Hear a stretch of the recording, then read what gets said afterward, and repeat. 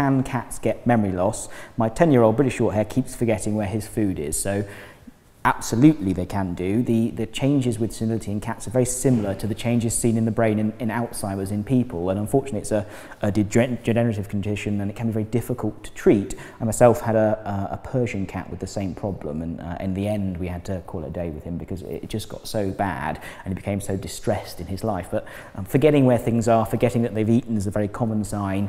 Also, things like uh, they develop this really nasty yowl that they do when they, when they think there's nobody around. And if you speak to them, they, they stop stop and they realise that there's somebody there. Um, they can stop and they can stare at walls. They can start to forget where the litter tray is and things like that. And it's actually more of a common problem in the indoor cat than the outdoor cat because of the you have to really make sure your indoor cat is stimulated um, because that lack of stimulation can lead to these these cognitive functions uh, coming on so um, although we see it in both it's difficult to treat. There are diets out there that can help. There are supplements out there that can help. So um, if that's what you think your cat has got, if those symptoms fit, then have a chat to your vet about maybe trying some treatment to slow down or reverse some of the signs that you've seen.